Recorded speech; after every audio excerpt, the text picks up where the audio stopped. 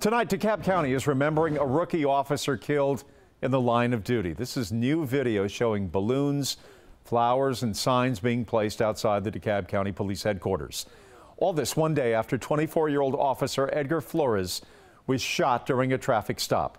The traffic stop and shooting happened along Candler Road, north of I 20.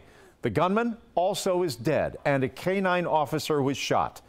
Joe Henke tonight has the very latest on the GBI's investigation into the shooting and what we learned today about Officer Flores. Well, Jeff, the GBI today released a few new details about the shooting, but it is still under investigation. Investigators have identified the gunman as 33-year-old Brandon Taylor of Decatur, and a canine officer named Indy is in critical condition after also being shot, but is in stable condition following emergency surgery.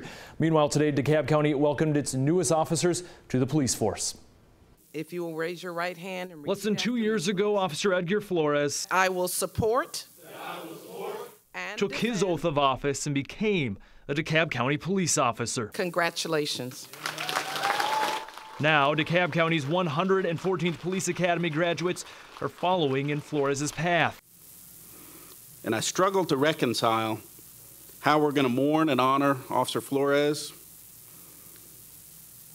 yet celebrate this important milestone and the accomplishments of these new police officers. 15 officers begin their careers with mourning bands across their badges in memory of Flores and representing the gravity of the oath they swore to.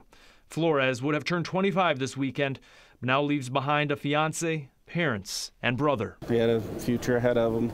Um, did die a hero. The GBI reports Thursday around 5 p.m. DeKalb police pulled over 33-year-old Brandon Taylor of Decatur along Candler Road. Investigators say Taylor ran, Flores ran after him, and then Taylor shot Flores several times. The GBI not ready to release details about the traffic stop or why Taylor ran. K9 and SWAT officers tracked down Taylor and found him a tenth of a mile from the traffic stop, hiding in a pile of tires behind a business. Taylor fired his gun, hitting Indy, a five-year veteran of DeKalb's K9 squad. Indy was shot in the face. Three SWAT officers then shot at Taylor.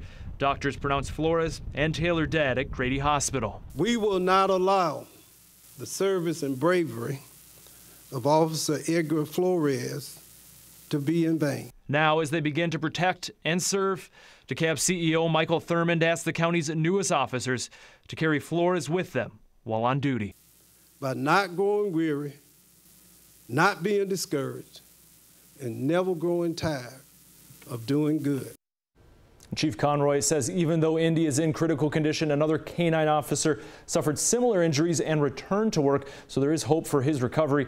And we are being told tonight, tomorrow at 10 a.m., there will be a procession taking Officer Flores' remains from DeKalb County to his home in Habersham County in preparation for his funeral. We're putting details of that procession on our website right now at 11alive.com. Jeff.